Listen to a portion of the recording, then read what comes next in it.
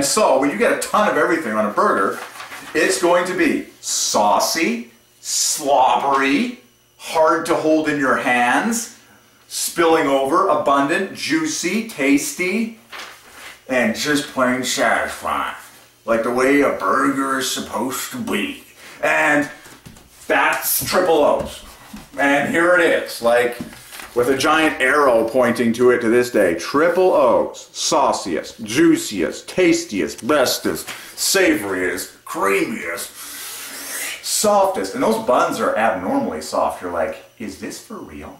I'm like, how do they come up with this? The buns are like squishy. You're just like, and you're just like, did I even feel that thing on my teeth as they pass through? You're just like, it's like the invisible, like sacred bun. Anyways, just, um,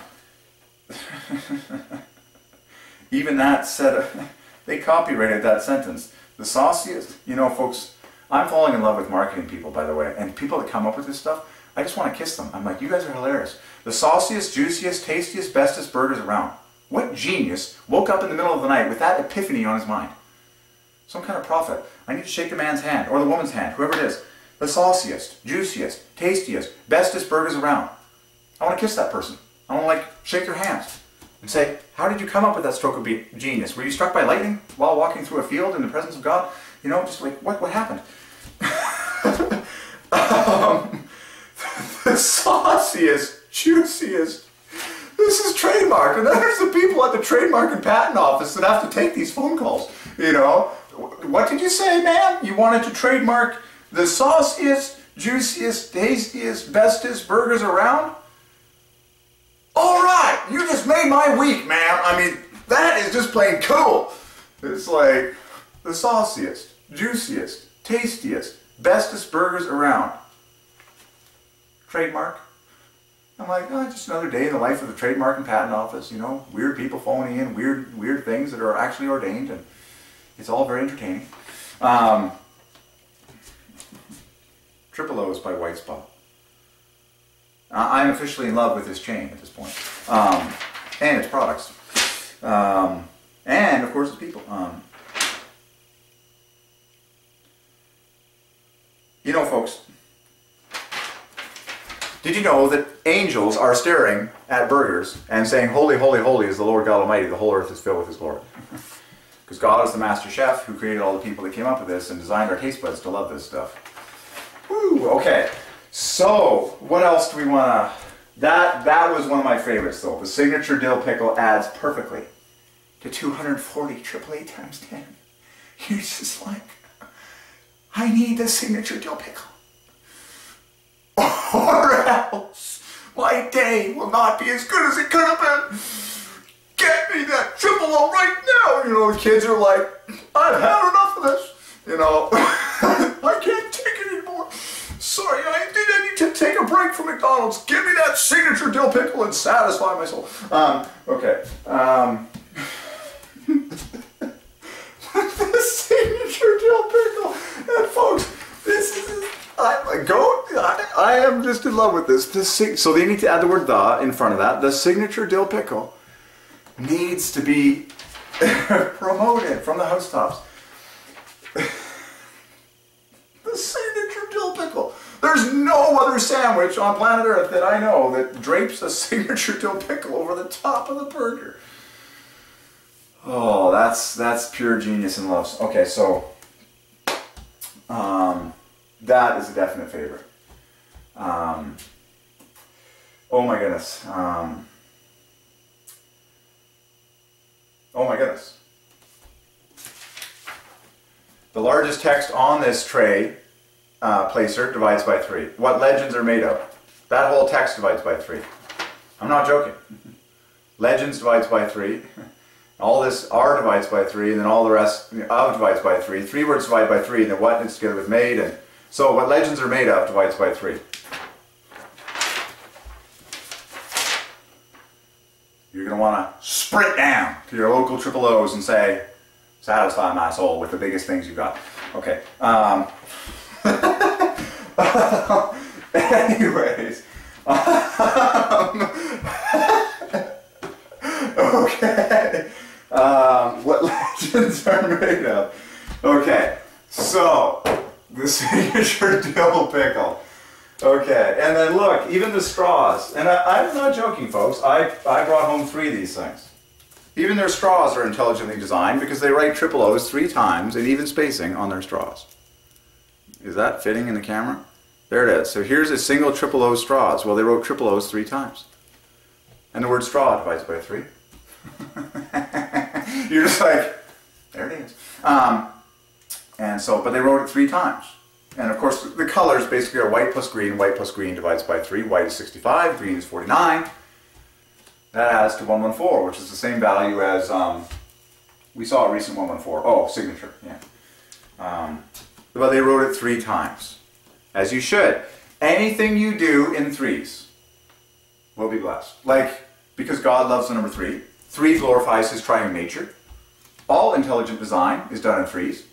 So I'm telling you, this is what we call a piece of intelligent design.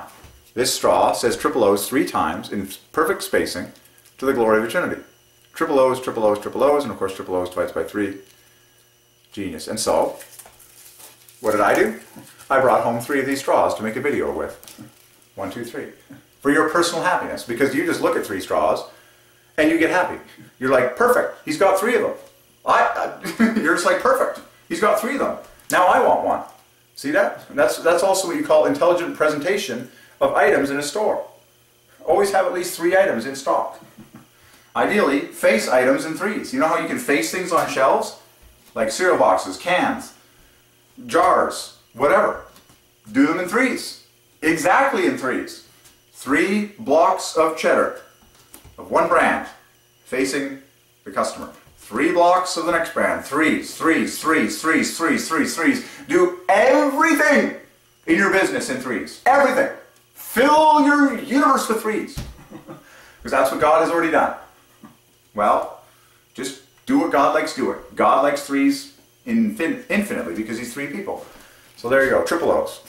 So I hold in my hand nine triple O's on three straws to the glory of the Trinity. And of course, when you say three straws, that divides by three because straw divides by three, and then three plus an S divides by three. So three of anything that divides by three will always divide by three. so three trees divides by three, three straws divides by three, and um, three persons divides by three. God is three persons. Um, and then, of course, when you crack these babies open, they are nice green straws because the colors are green plus white. And green plus white, again, is a divine color combination. Think of trees on a snowy day, um, or green grass and snow, or mint, mint, green plus white divides by three. It's a divine color combination. It's very eye pleasing, green plus white, if this would focus because I need to. There, green plus white divides by three. Um, it equals 114. Okay, green plus white. That's also the colors of triple O's. Um, so I brought those home to preach on. And uh, this one also hit me like a truck. Here's a gem from French for you. This is the French uh, version of iodized salt, sel iode. Well, look at the love in there. 24 for SE, 12 on top of that, and then 9 plus 15 plus 9 and the rest. So you got 24 plus 24 plus another 21 is uh, 69. Oh yeah, it equals Jehovah. So by divine ordinance in French, you're looking at letters that equal Jehovah, which is of course O wrapped in love with so many threes pairwise, it's not even funny. You've got three letters that divide by three. The other two pairs make multiples of three, ED and ES, 24 and 9 respectively. There, it's like, so every pack of salt is like giving glory to Jehovah. That's in French. Now, the English doesn't divide by three, but it's all knit together with all sorts of other things like salt and pepper and you name it. It's just you're entering into the symphony of God in multiple languages now. Um, okay. Um, and then I really love the milkshake. Uh, you know, suck, suck the straw, every word divides by three, and just, I just, you know, triple O's. It's, every word occurs. It's just like three heaven. Um, and then what by white spot, white spot three, okay. So, um, that's nearing the end of our triple O's story here. Uh, we solved a lot. Did I, did I mention everything that was on here? Yeah, the dill pickle was awesome. Um, I, I just want to throw into the, the computer the full text triple O's by white spot. Just, just to um, make sure we exhausted that one. Uh, so here we go. We're going uh, triple O's by white spot adds in total to, wow, 276. 12 times the ninth prime, lovely 3 in there. And then if you just say triple O is white spot, and that's 3 times 83. 83 is the 23rd prime, which is in turn the ninth prime. And there's a lot of artistic effects in there, the hopscotch effect, knitting it together to make multiples of 3. Okay. Um, beautiful. And uh, remember, white spot is love plus love plus half a love in nine letters, chain links, you know, triply chain links. We, we talked about that. Amazing. And uh, triple O is, uh, is exactly uh, how many points less? 21 points less. Amazing. So, okay, that's pretty good on the triple O's story. Um, and then, of course, uh, every worker or employee there divides by three personally. Okay. What else?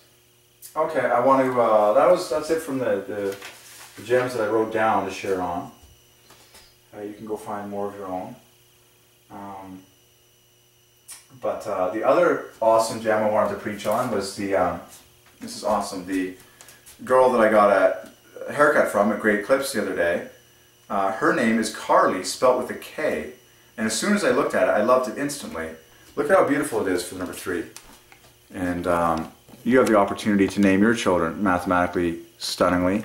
God is sovereign, so you don't need to fear whatever has happened was by his ordinance. Your name knits together with all sorts of other people's names to divide by three. God revealed to me that my first name knits together with all of my three brothers to divide by three. And my best friend growing up, we divide by three. And I had another best friend, John, divides by three. Me and Spencer, and his God is just revealing to me how it's all part of his love plan. Uh, but look at the name Carly. It's so beautiful. The, the it, it adds to 72. Can you find love like in Carly? Of course you can. It's like you can't find love in Carly, who can you find love in? KY divides by 3, the two vowels, AE divides by 3, and then the two center letters both divide by 3 individually. It's such a beautiful name, spelled with a K there. And then um, adds to 72, a triple of triple eight. So if you pop off the R, which is 18, you're left with love. Okay? KA 12, EY 30, L 54. Like it's just such a beautiful name in six letters, Carly.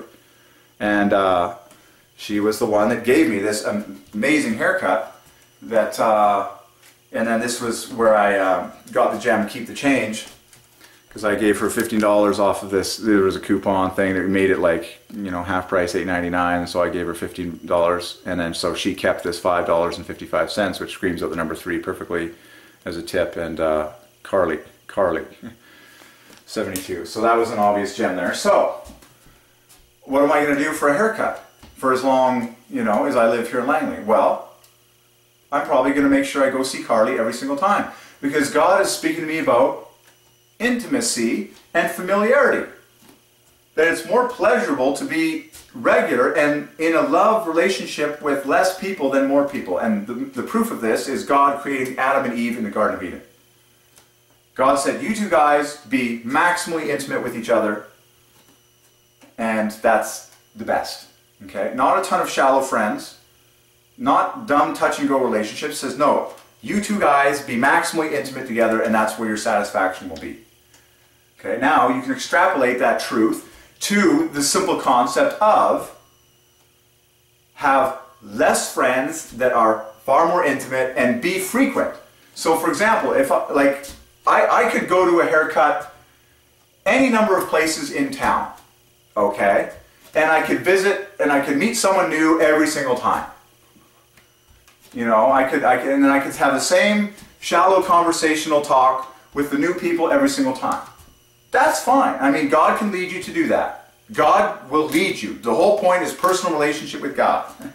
Don't, you know, don't run off after this and say, that guy says I have to go to the same hairdresser every single time for the rest of my life. It's like, no, no, no. But what God is speaking to me is there's pleasure in intimacy.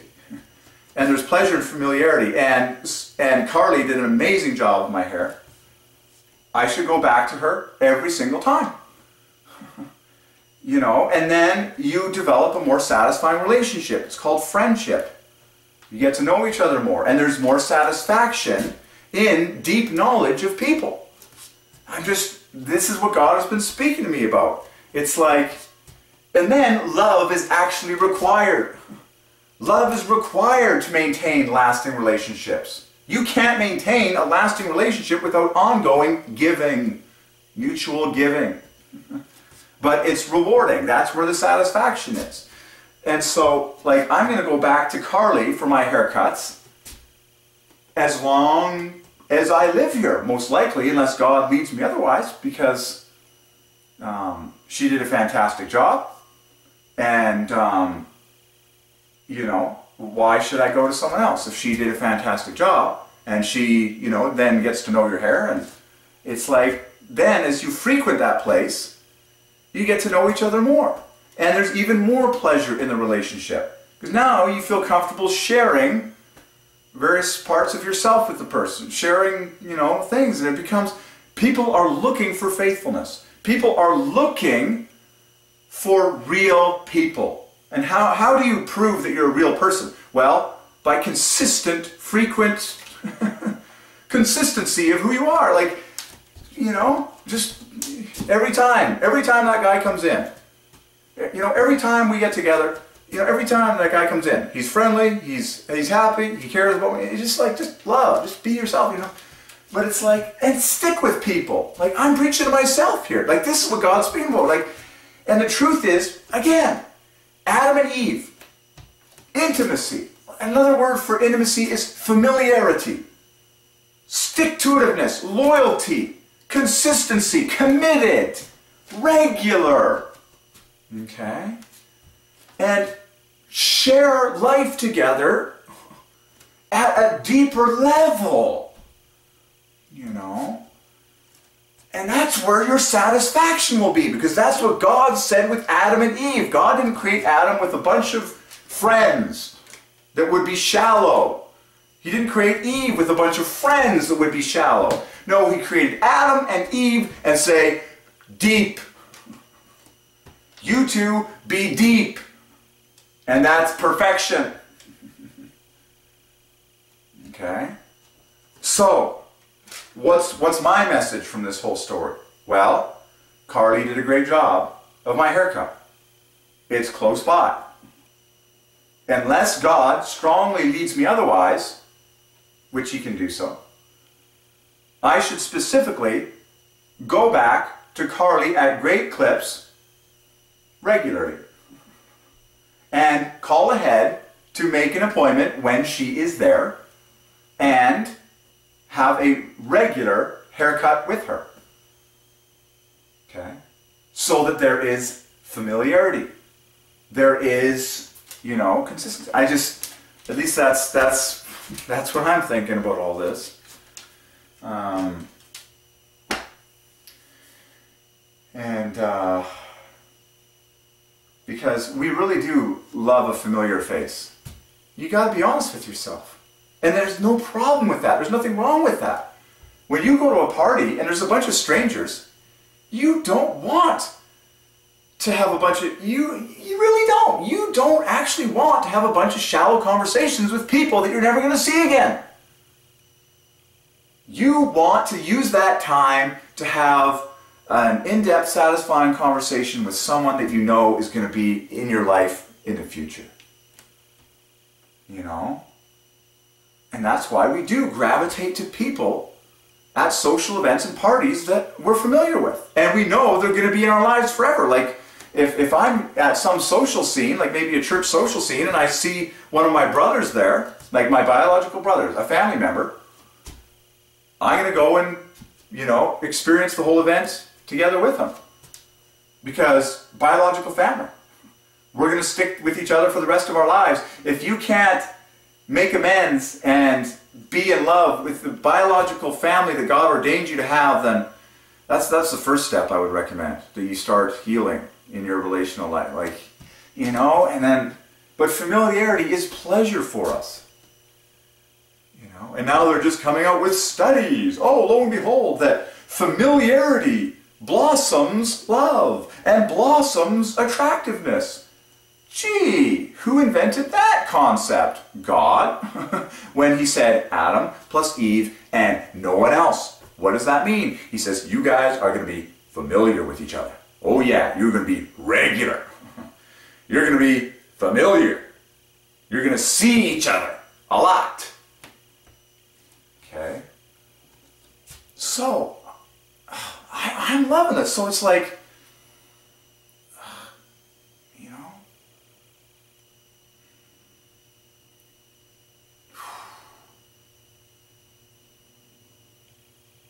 everyone is made in the image of God. Keep going back to the same people. Like I'm preaching myself. Stick with, like as God leads, stick with people, you know, and go deeper. And grow in love. So, you know, get the same haircut. At the same hair. If you, if you love the hairdresser, stick with them. Stick with them. Be consistent. You know, oh man, I'm just faithfulness, loyalty, and you know. Yeah. Okay. What else did I want to preach on? Um, that was awesome. the Triple O's gems were just plain awesome. But um, yeah, it was an awesome day. Um, and what else? I'm, I'm pretty satisfied with, with all that. Man, God is good. I'm probably going to take a break. God is awesome. That divides by three as well.